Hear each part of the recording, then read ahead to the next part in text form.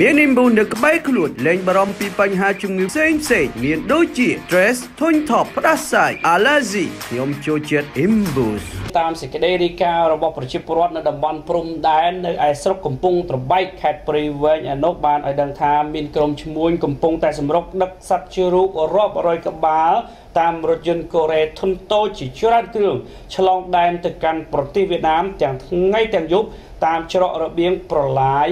ចន្លោះច្រកស្វាយអាងោងនិងពៀមទាស្ថិតនៅក្នុងឃុំចាមស្រុកកំពង់ត្របែកខេត្តព្រៃវែង ដោយហាក់ដូចជាមិនមានមន្ត្រីត្រួតពិនិត្យនោះឡើយនេះហើយគឺជាការព្រួយបារម្ភខ្លាចជ្រូកទាំងនោះមានជំងឺ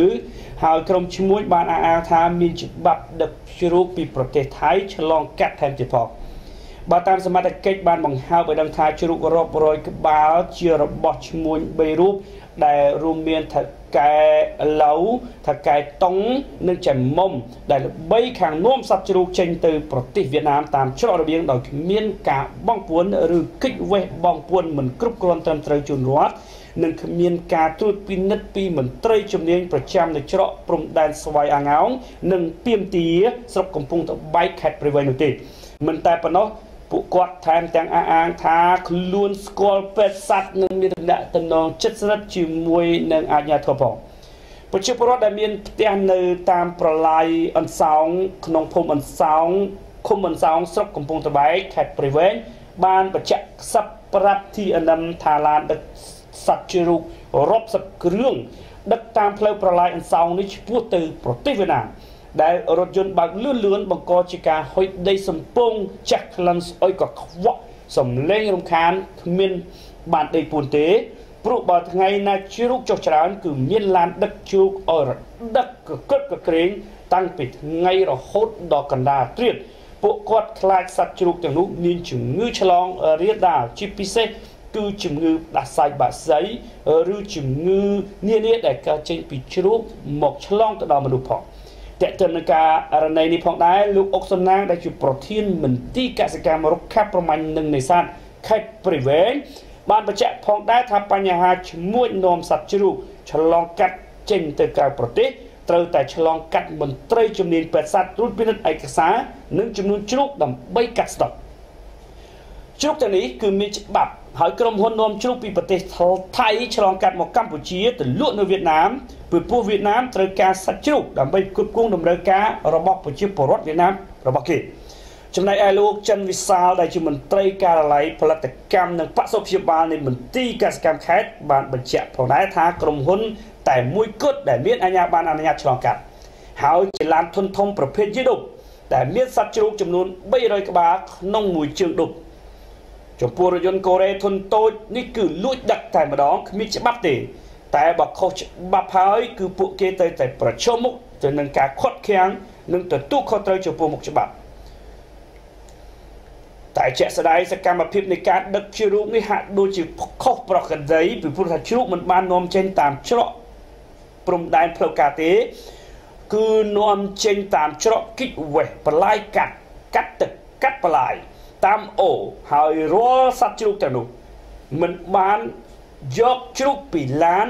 ធំធុនធំឬក៏ពីក្រុមហ៊ុននោះទេគឺដឹកតាមច្រកផ្សេងផ្សេងហាក់ដូចជាមានការលាក់លៀមសូមបញ្ជាក់ផងដែរថាសម្ដេចក្រឡាហោមសូខេឧបនាយករដ្ឋមន្ត្រីរដ្ឋមន្ត្រីក្រសួងហាផ្ទៃបានចេញសេចក្តីប្រកាសរួចហើយនាពេលកន្លងទៅមិនអនុញ្ញាតឲ្យនាំនៅផលិតផលសត្វនិងផលិតផលដែលមានដើមកំណើតពីសត្វចេញចូលតាមច្រករបៀងទេ នៅទូទាំងប្រទេសតែម្ដងក៏ប៉ុន្តែឈ្មួញ បែរជាខុបគិតជាមួយនឹងសមត្ថកិច្ចនិងមន្ត្រីលួចនាំសត្វជ្រូកឬសត្វគោក្របីជាដើមពីប្រទេសថៃឆ្លងដែនទៅវៀតណាមឬពីវៀតណាមឆ្លងចូលនៅប្រទេសកម្ពុជាតាមច្រករបៀងដែលជាច្រកមិនអនុញ្ញាតឲ្យមាន ការនាំចូលនៅផលិតផលសត្វឬក៏ផលិតផលដែលមានដើមកំណើតពីសត្វទៅវិញ បាទលោកលោកស្រីនេះគឺជាអ្វីដែលជាការលើកឡើងរបស់ប្រជាពលរដ្ឋដែលរស់នៅមូលដ្ឋានចិត្តខាងនោះបញ្ជាក់ប្រាប់ធានអឹមខ្សឹបប្រាប់ធានអឹមតែម្ដង ថារឿងនេះគឺមិនមិនធម្មតាទេបាទដឹកកកឹកកក្រែងឆ្លងទៅឆ្លងមកបាទសត្វប្រឡាត់សត្វអីនេះយើងខ្លាចជាពិសេសគឺមានបញ្ហាឆ្លងជំងឺ បាទហើយទន្ទឹមនឹង COVID-19 នៅលោកស្រីយុទ្ធនាការមួយទៀតរបស់ប្រទេសជិតខាងយើងគឺថៃវៀតណាមហើយប្រទេសយើងនឹងហាក់ដូចជាមិនទាន់មានសកម្មភាពអីគួរឲ្យកត់សម្គាល់ទេតាក់ទងទៅនឹងការបង្ការនៅផ្ដាសាយបាក់សីបាទជំងឺផ្ដាសាយបាក់សីវាមិនត្រឹមតែកើតពីមន់ទាបាទពីបាក់សីទេវាអាចកើតពីសត្វជ្រូកណាវាទៅជាជំងឺឆ្លងអីផ្សេងផ្សេងនោះបាទដែលយើងហូប សាច់ជ្រូករាល់ថ្ងៃនេះអស់លោកស្រីជ្រូកមើលទៅឃើញបាទគួរឲ្យញើតលោករដ្ឋាសាច់ជ្រូកលោករដ្ឋាអត់ទៅហូបសោះហ្មងអត់ហ៊ានហូបទេបាទប្រិយមិត្តទស្សនិកជនគឺថាសាច់ជ្រូកដូចជាមានការហាមឃាត់ម្សាហើយគឺមានមេរោគស្អីនោះគេហៅថាប៉េះបាទជំងឺប៉េះជំងឺប៉េះរបស់សត្វជ្រូកនោះហើយចឹងសំបីតែវៀតណាមក៏គេអត់នាំជ្រូកយើងទៅទេគឺ គឺអត់អត់មាននាំជ្រូកយើងទៅស្រុកគេមានតែនាំស្រុកគេមកចូលស្រុកខ្មែរហើយជាប្រវត្តិលោកអត់ដឹងលោកអានេះយើងនិយាយទៅយើងមិនយើងមិនមែនថាបំភ័យដើម្បីកុំឲ្យហូបសាច់ជ្រូកទេមែនទេលោកកតង់បាទគឺថាលោកកតង់មានប្រសាសន៍ហើយគឺថាឃើញសាច់ជ្រូកគួរឲ្យខ្លាចវា ធំធំពេកលោកកតង់ហើយអត់មាននេះទេឡើងលលងលលងតែម្ដងស្បែកបាទបាទតើតើទៅនឹងរឿងនេះដែរក្រុមការងារនៅទូទូធានអឹមនឹងចុះទៅផ្ទាល់តែម្ដងដើម្បីតាមដាននៅសភាពការនៃការ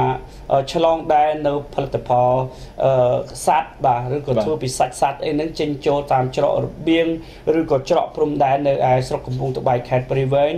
នៅសប្តាហ៍ក្រោយដែលយើងនឹងដាក់ផែនការចុះទៅហើយយើងនឹងបន្តរាយការណ៍ជូនដល់លោកលោកស្រី ប្រិមិត្តអំពីករណីនេះផងដែរបាទ